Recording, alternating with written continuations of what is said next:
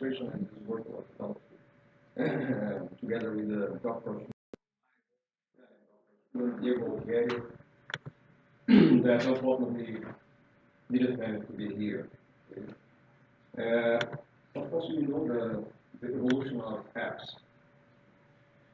For the first time in AMCIS, I'm using an app in my smartphone, and I'm I'm seeing what is going on through my smartphone, through the apps, okay, the time, time scambly, the sections, and so forth. So the first time I'm using an app in AMCIS for, and I have been here for several years.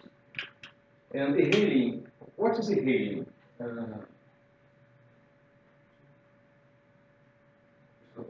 it's agenda, okay, it's a normal formal agenda. Introduction, the questions are at the background, background results in the market. Let's go forward quickly in order to have questions discuss. First of all, what is the e-hailing? e-hailing apps, um, advanced mobile services, applications that enable transportation. Uh, internet, use internet, using geolocation, and mobile applications. And so we can track the service and the payments you using more, most of the time you use credit card. For instance, Uber. Uber is a and uh, in Spanish, Cabify, Cabify, don't know only is in Brazil. Cabify is a Spanish one, a very, very big one. It's in Rio, in São Paulo. Cabify, Uber, and others. So e-hailing is the process of ordering a car, a taxi, a limo, or any other form of transportation picked up via by a computer or mobile device. I have one in my in my smartphone. Well, when I arrived here in Boston, the first time, I, well, before coming to Boston in, in Brazil, in Rio, I realized that there is Uber here. And the first thing I, I, I do when I travel abroad is to see what, whether or not there is Uber. Uh, first in Greece, there is no Uber. uh, I was talking to a friend of mine from Greece, and he told me that there is no, no Uber in Greece. Uh, because if there is a Uber, it's very easy for me because I, all I need is a credit card. I know exactly the, the price before the, the ride, and I can talk to the mod, to the driver, uh, and so forth. So when I arrived at Logan Airport in Boston, the first thing I tried to, pick up Uber, but I was inside the airport using Wi-Fi. I had to call Uber, but I, I had to go outside to wait for the car. And outside, I would lose my my link. So uh, I was with my wife, so we decided to take a cab. it was it was an adventure. Uh, the, the, driver charged, charged me a lot. The driver didn't have change and complained with me because I, I didn't have change. I it's my fault not have change. I had to go inside the hotel. I had to ask for change. I have to return, I have to pay the driver. And the guy, the guy that stays in front of the hotel, and he asked me, you, you had problems with the driver? Yeah. And he told me, there's a, there's a reason why Uber is so, so, so, so used here in Boston. It same happens in Brazil. In Rio, for instance, uh, five years ago, you need a, you need a license to, have a taxi in Brazil in Rio five years ago, uh, uh, taxi license, more or less, uh, we have to pay more or less $100,000. $100,000. And there was, there was no one to be acquired. Today, you can purchase a taxi driving license at perhaps $10,000. And there are a lot of licenses then you can pick and choose whatever you want. So it's Uber IFAC and e-hailing IFAC. So it's important in Brazil because, for instance, the, the number of uh, uh, e-hailing apps users double monthly in Brazil in 2014. In the end of 2015, almost 20% of all internet users in Brazil with smartphones okay, request transportation at least once in the preceding six weeks via uh, uh, e-hailing apps. Well, Brazil has more smartphones, mobile, sorry, mobile phones than people. In Brazil, there are more mobile phones than people. So it's of course, you can conclude that in Brazil there are people that has more than people that have more than two or three mobile phones. Because, uh, I believe that, uh, for instance, the babies do not have smartphones. Okay? so if you have more smartphones than, than people, of course, there are people having two or three smartphones. so it's, uh, it's very important for us to understand what is going on Uh, so the research question is very, very simple. According to several academics, there are so far few studies on the antecedents of use of the e-hailing apps in, in Brazil. so this article aims to answer the following research questions. Uh, what are the antecedents of the intention to use, uh, reuse, use again, e-hailing apps on smartphones by people in Brazil? So what are the antecedents? uh, what drives people to use Uber, for instance, or other apps? There are a lot of apps in Brazil, not just Uber. But Uber is the most important today. Uh, so the first question is, why do people use information systems uh, and use apps? Is the first important question. Uh, why do you use? Why do people use information systems, or why do people use apps? or if you want, uh, why do people resist to use? This is a long discussion about that. Uh, perhaps is the most developed area here in NUTS is uh, adoption of information systems. So you can see if you if you try to submit a paper to this track, the rejection re rejection rate is very very high. Otherwise, there are tracks here that at least all the papers that are submitted, all more or less all, almost all they are sent. A few, of course. And but the, the rejection rate in the, adoption of information systems is very, very, very high because it's very well developed, a lot of models, a lot of statistics, psychometric scales, and everything's wrong. Okay, but let's go for. Okay. And uh, why do people use information systems? Of course, you, you know that in the, in the first presentation was about that. Everything starts with TRA, um, theory reason action. is totally wrong because I believe it's totally wrong if you believe that I am a rational person and I'm not rational and you are not rational. Human beings are not rationals. Okay? But the of reason action believes that we are rationals. Okay, let's go forward.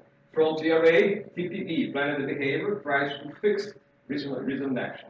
And then the most famous tag, well, TAM, and then TAM, TAM, TAM, TAM, 2, TAM, 3, TAM, 4, then next set, okay, E10, okay, UTAUT, U tau 2, UTAUT 3, and what uh, Barki and uh, Benbasat call that the 10XX research, 10XX research. All I have to do to have a doctoral degree, to get a doctoral degree, is to insert a new variable and the dun, dun, dun, dun, dun, you have a model, and have, now we are doctor. Use a, a new variable, do that, it's okay. So we have a lot of models. Uh, and I, I, must confess that uh, I'm an engineer, I'm a master engineer, I'm a doctor in engineering. No one is perfect. So I use statistics for all, all over my, my life. my master thesis in the 80s was about Monte Carlo simulation. And I had to develop, I had to develop a software to run Monte Carlo simulation. I had, okay, myself, yes. Okay.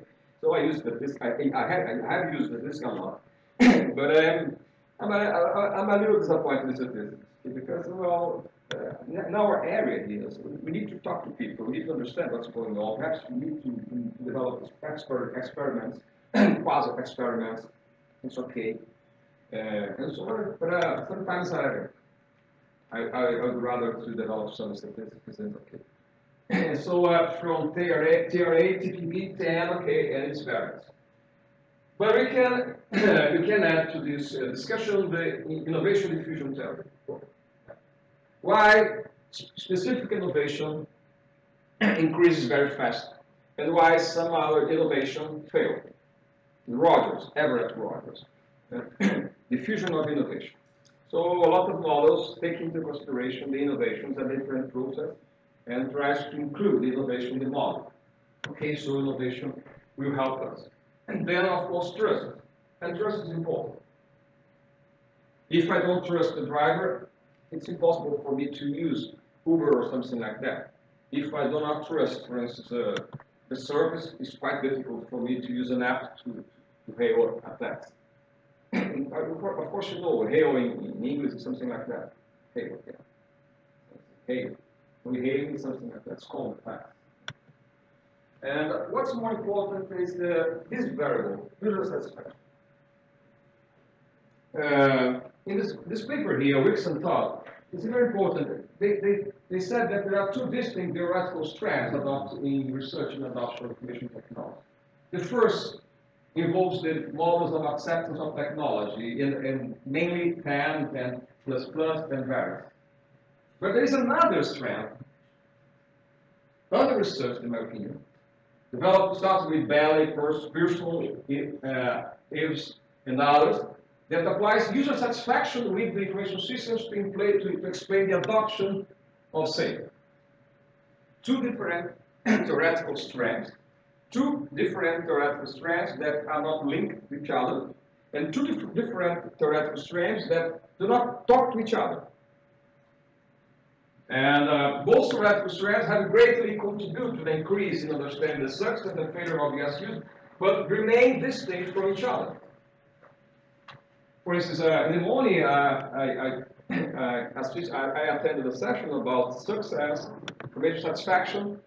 It's totally different from TAM. Then another section about TAM, and 2, and 3, and 4, and N.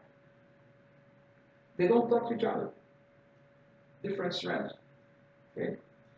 so according to Wixom and Todd, uh, these two approaches, if used jointly, might better explain the information technology adoption phenomenon.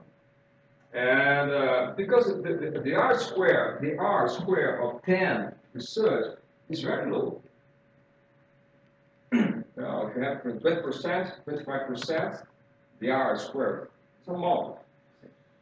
So there are a lot of other variables you are not taking into consideration. This is exactly what R squared will explain to you, because uh, there's other variables, other antecedents that, are missing in the model. Okay? And there's another problem. TAM, TAM, 2, TAM, 3, UTAUT, 2 tau 2, tau 3, UTAUT, blah, blah, they don't take into consideration the technology and the system itself. No matter the technology, no matter the systems, you can use the same model. It's, it's astonishing. This is what uh, Balsi and Iacono in a paper, it's a marvelous paper, says that it's, uh, it's looking desperately the IT artifact in the IT research something like that. Pursuing or looking for, I guess it's pursuing desperately the IT artifact in, artifact in the IT research. Because most of the time, we don't talk about the IT artifact. We don't talk about the information system. Doesn't matter can be every, any, any information systems, can be any information technology that the systems and the model will, will apply, okay, in a very good way. Is it correct? I don't believe it's correct. An app is totally different. For instance, an ERP as, as, as SAP, for instance. And both are called information systems. Okay? An, an ERP and enterprise system is totally different from an app, a mobile app. And both are classified as information systems. So we try together to blend these two approaches, to put together these two strands in order to pursue uh, a stronger explanation of the antecedents of use of mobile applications for taxis and for transportation. So here's the model. Okay. So it's very easy and very quickly. First of all, TRA TPB. Subjective norms. I use because you use. I mimic you. Okay. TAM, you know that. Usefulness, use of use. Innovation diffusion, Rogers. Complexity. Well, if it's complex, it's not complex. It's very simple. Compatibility, okay. the way the technology complies with your style of life, compatibility. And relative advantage, the way the technology gives you advantage regarding the, the old technology you were using. So a new advantage. Of course, here trust, And pay attention, here, user satisfaction. I, I might say that like a proxies of attitude. And uh, the user satisfaction, if you are satisfied, if you are satisfied on using the system and the apps, okay, so there is an intention to use. Of course, here is it to use again, okay? Because uh, I cannot give a, a, survey to a person that, to a person that doesn't know what is Uber about, so it's very difficult for this person to answer the question. So here is the intention to use use again. And so, of course, the sample data data collection of Likert scale, all Brazilians who have used the e-hailing apps, we start with this number, we end up with this number. People that have used e-hailing, Uber or similar. So it's a survey in the web, and they, they analysis, structure equation modeling, they covariance based, they using Stata 14, confirmatory, path analysis, all this stuff in order. I, I, I go for okay? All I have to do is to insert the computer and type the right. But pay attention. Do não digo garbage in, garbage out. Okay? Mm-hmm. insert garbage, we have garbage in the out. And the results are here. First of all, pay attention here. The R squared is 0.75%. Very high, very high. And the intention used is, point, almost 0.6%, 6%, 6% of explanation. And of course, there are a lot of persons use here control variables. Uh, education, age, gender, income, occupational, marital status, married, not married, that's all not significant at all. here, the subject norms, the perceivities of use, okay, here, no significant here, and there is explanation, of course, because when you are using Google or something like that, you are acquainted with the systems, and the ease of use is not important for you because you are acquainted with the systems. And there is a, a, a the left, the, the, the, curve, the curve of easiness decay throughout time, over time. and, and people here, uh, people that, that people that are using uh, e-hailing apps. Complexity, of course, the perceived ease of, ease of use was not significant here, or significant, significant this way here. And uh, complexity is opposite, is the opposite, opposite of the perceived ease of, ease of use. okay? It happens a lot. Uh, compatibility is very important. It's the way the way these apps complies with your state, uh, your lifestyle. Compatibility, and the relative advantage is how these new apps give you gives you advantage regarding the, the, the other process you use to to hail attacks. It is much better. This is the reason why I, I returned from here to the airport by using Uber, not more the driver. And I, I, I took Uber three or four times here. Take the subway.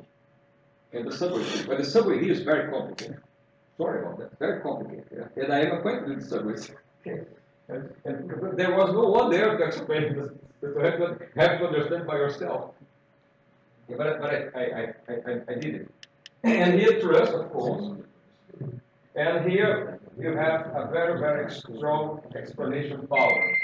So what are the main conclusions here and contributions? Well, of course, the results. Okay. And let's go to the, the last slide. For instance, taking user satisfaction with the e-hailing app as a proxy of attitude or something like that, or in the middle of the systems, as an antecedent to intention of use can be considered a hard academic contribution of this work. So we are proposing a different model. We're proposing a model where we we are trying to try to put together two different strands that do not talk to each other. So the results accrue from this article uh, set the fitness index of the structural methodology developed uh, higher values of R squared support that the joint use of those two terrestrial strands can be more adequate than the use of either of them separately. it's, it's, amazing because there are several academicians, academicians that researchers that use tenth and tooth and three and fourth, and there are a lot of scholars that use, for instance, the, the, the user satisfaction and, and quality of the system and so forth, and they don't talk to each other. And so, finally, this paper addresses uh, as a yet as a yet insufficiently researched the area in Brazil. So, of course, we need further research. There are other apps uh, turning up in Brazil. Of course, there is a limitation. We take into consideration that all e-hailing apps are similar. They are not similar. They are more or less the same, but not the same. the, inter the, interface is different, of course, but there are normal limitations that our research used to, to deal with. And uh, here is the, the contribution I would like to bring to you and perhaps discuss if you have any interest Thank you very much